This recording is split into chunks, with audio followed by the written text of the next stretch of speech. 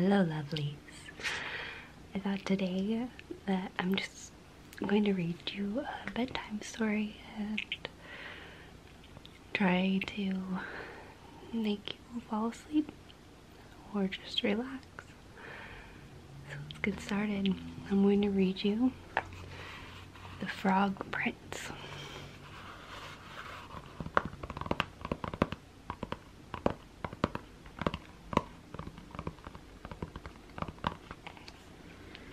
By Paul Galdone.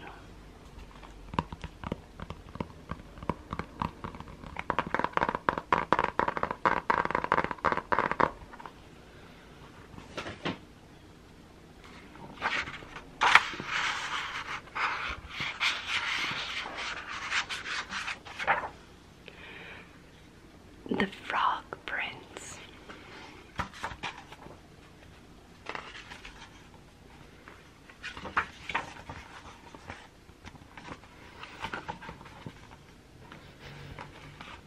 Let's get settled here.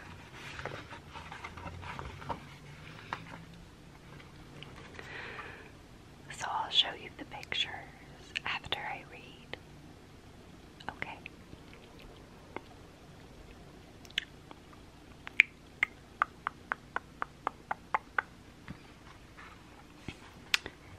In the old times, there lived a king whose youngest daughter was so lovely that the sun himself, who had seen so much, marveled each time he shone over her.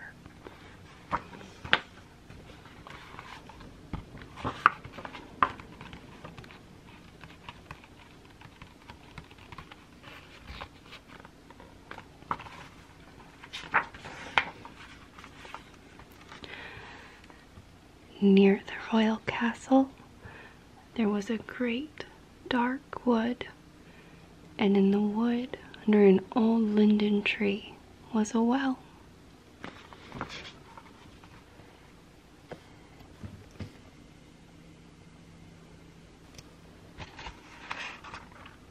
When the day was hot, the king's daughter used to go into the wood and sit by the cool well. Well, well.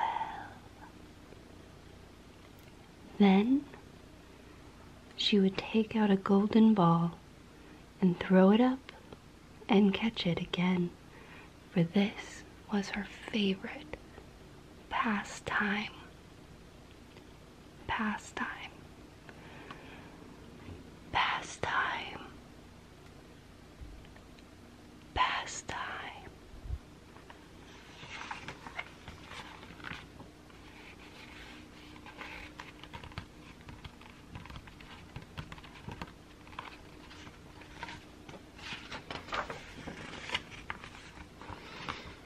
One day, the golden ball dropped to the ground near the edge of a well and rolled in. The king's daughter began to weep, and she wept and wept as if she could never be comforted. And in the midst of her weeping, she heard a voice say to her, What ails thee, king's daughter? Your tears would melt a heart of stone. Stone.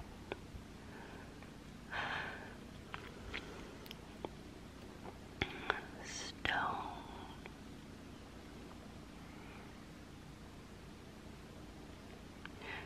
And when she looked to see where the voice had come from, there was nothing but a frog stretching his thick, ugly head out of the water.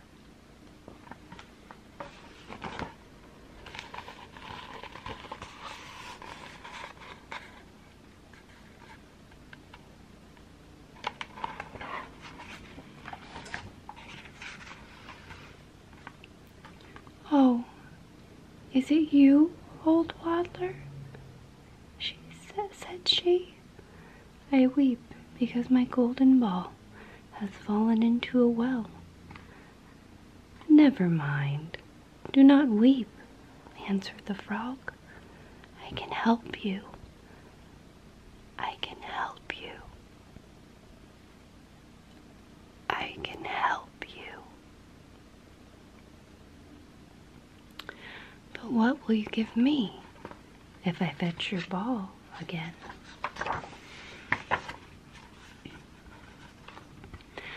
Whatever you like, dear frog, she said. Any of my clothes, my pearls, and your golden crown that I wear. Your clothes, your pearls, and your golden crown are not for me, answered the frog. But if you would love me,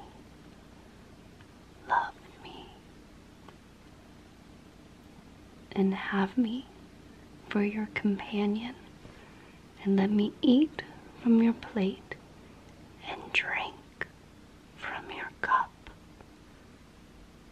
and sleep, sleep, sleep, sleep, sleep.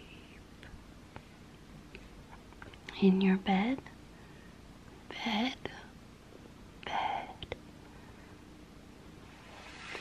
Then I would dive below the water and fetch your golden ball for you.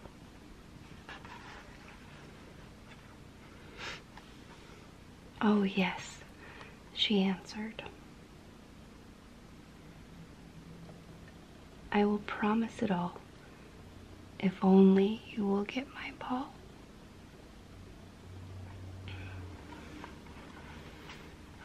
But she thought to herself, what nonsense talks.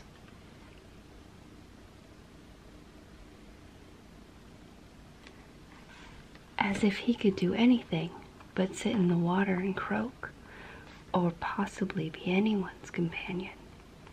But the frog, as soon as he heard her promise, drew his head under the water and sank out of sight. After a while, he came to the surface again with a with the ball in his mouth and he threw it on the grass.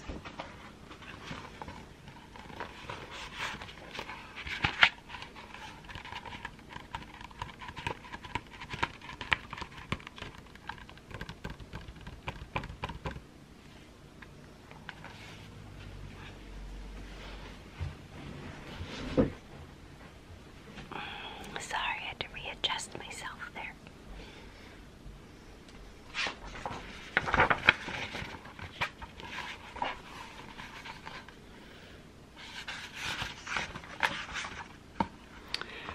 The king's daughter was overjoyed to see her ball again, and she picked it up and she ran off with it. Stop! Stop! cried the frog. Pick me up too. I cannot run as fast as you. But it was of no use, for she would not listen to him. Instead, she hurried home and soon forgot all about the poor frog.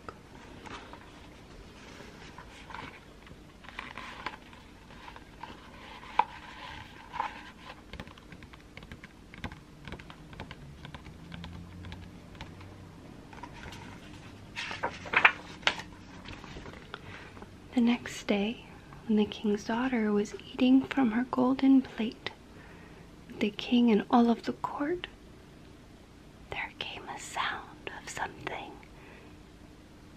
bitter, batter, hop, hop, hopping up the marble stairs.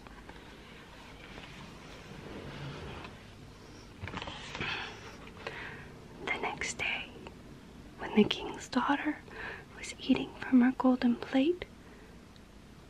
With the king on the court, there came a sound of something bitter. Batter. Up.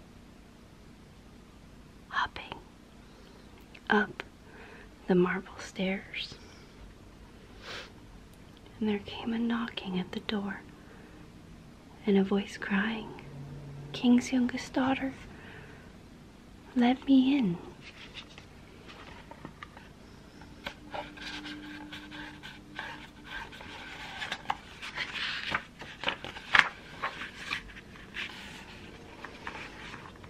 When she opened the door, there was a frog sitting outside. Then she shut the door hastily and went back to her seat, feeling very uneasy. The king noticed how quickly her heart was beating and said, My child, what are you afraid of? Is there a giant standing at the door, ready to carry you away? Oh no, answered she, no giant, but a horrid frog. And what does the frog want? asked the king.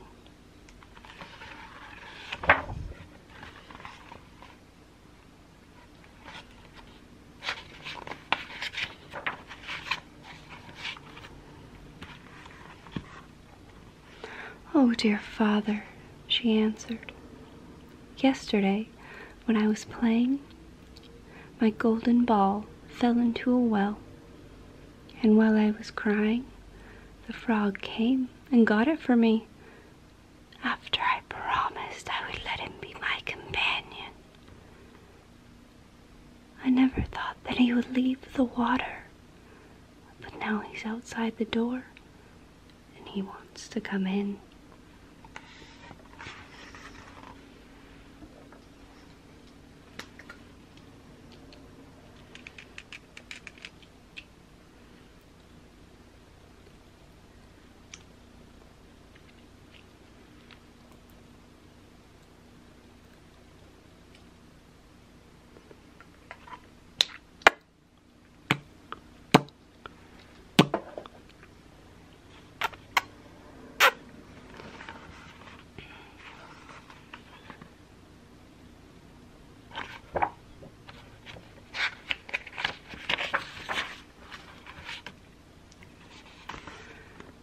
When they all heard, then they all heard the frog knocking a second time and crying, King's youngest daughter, open the door to me.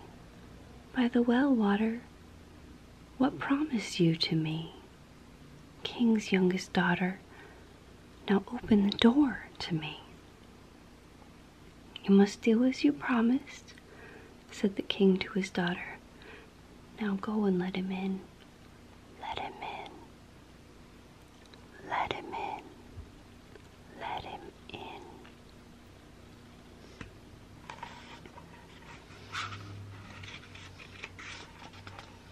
So she opened the door, and the frog hopped in.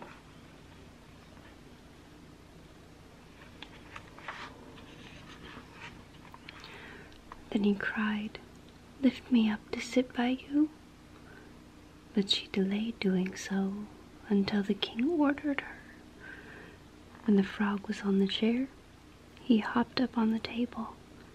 There he sat and said, Now push your golden plate a little nearer so that we may eat together. And so she did, but everybody could see how unwilling she was. The frog ate heartily, but the king's daughter could not eat a thing. Now I am tired, tired, tired, tired, tired, tired, said the frog at last. You must carry me to your room, and we will lie down and go to sleep.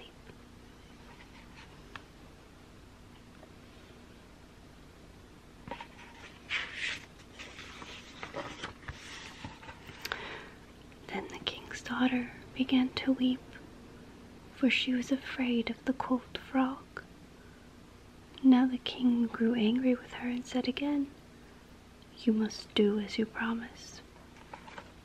So she picked up the frog with her finger and thumb, carried him upstairs, and put him in the corner.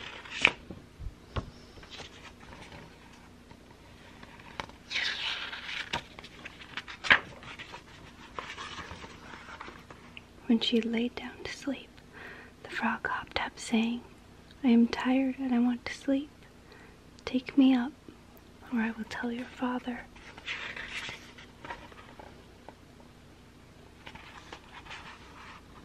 Then she fell asleep beside herself with rage, and she felt beside herself with rage, and picking him up, she threw him with all her strength against the wall, crying, Now be quiet, you horrid frog.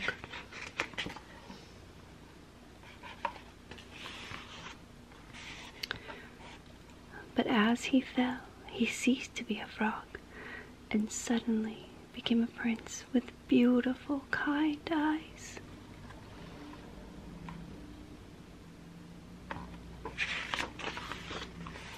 And the prince told her how a wicked witch had bound him by her spells, and how no one but the king's daughter could have released him, and that they would be married and go together to his father's kingdom.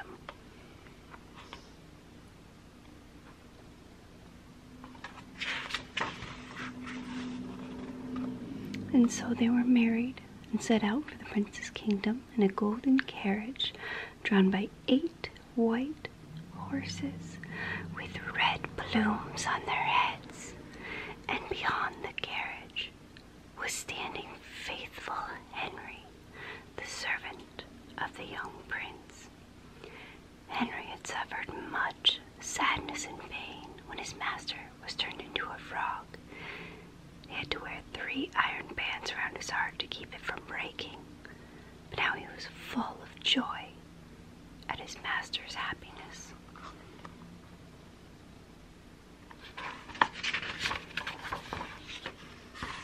Suddenly, as they neared the castle, castle, there was a cracking sound. The prince thought it must be a wheel breaking, but it was a bursting of the bands from around Henry's heart, because he was now so relieved and happy that the prince was free again. The end. The end. The end. The end. The end. The end. The end.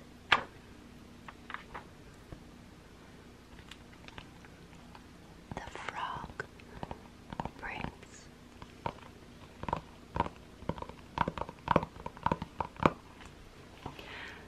Let me know if this was something that you enjoyed. I have many more stories and really enjoy reading them.